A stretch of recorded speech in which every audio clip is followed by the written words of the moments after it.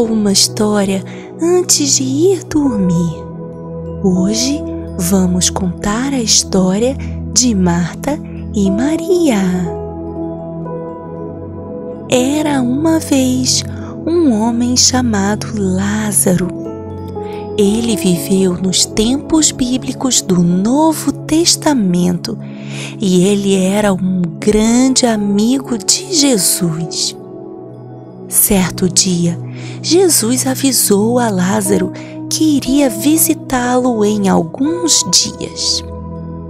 Lázaro tinha duas irmãs, Marta e Maria, e elas também amavam muito a Jesus. Quando elas souberam que Jesus iria visitá-los, começaram a preparar tudo.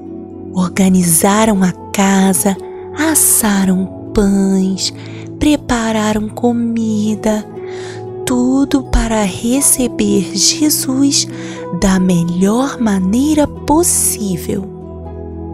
E finalmente chegou o grande dia, o dia da visita de Jesus. As irmãs acordaram cedo e organizaram tudo para a chegada do seu grande amigo e mestre. E de repente, Jesus chegou! Que alegria! Lázaro foi logo recebê-lo. E quando eles entraram na sala, Jesus começou a ensinar. Lá da cozinha, Maria ouviu a voz do Mestre e imediatamente correu para a sala e sentou-se aos pés dele para ouvir seus maravilhosos ensinos. Marta estava trabalhando na cozinha quando percebeu que Maria já não estava mais lá. Ela correu para a sala e, quando viu, lá estava Maria, sentada ouvindo os ensinos de Jesus.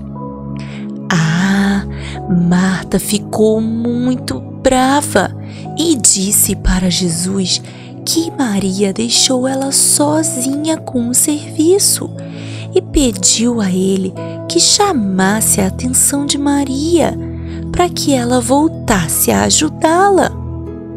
Mas a resposta de Jesus foi surpreendente.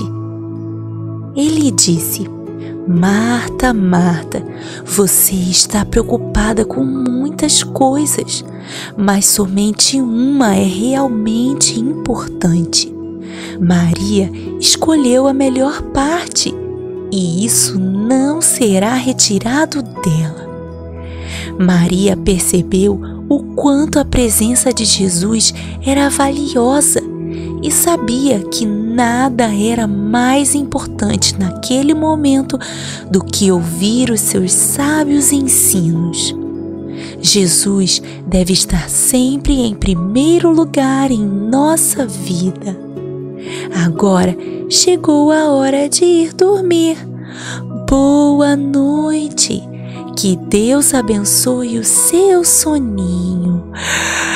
Ai, tchau.